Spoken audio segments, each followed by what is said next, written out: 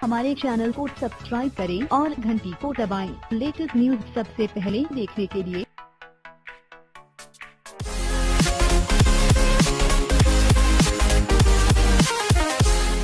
TVS जो काफ़ी समय से बेहतर बाइक बनाते आ रही है, हाल ही में भारत में अपनी सबसे किफायती बाइक के नए संस्करण को और भी फीचर्स के साथ भारत में लॉन्च कर चुकी है।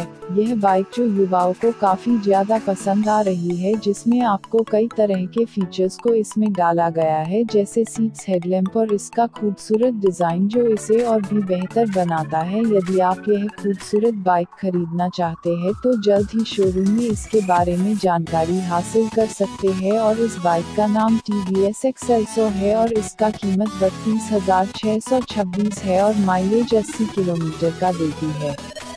टी वी एस एक्सएल सौ निन्यानवे दशमलव सात सी सी एयर कूल्ड एकल सिलेंडर इंजन द्वारा संचालित है, जो चार दशमलव तीन बी एच पी का अधिकतम बिजली उत्पादन छह हज़ार आर पी एम पर और छह दशमलव पाँच एन एम की चोटी टोक तीन हज़ार पाँच सौ आर पी एम पर बनाता है।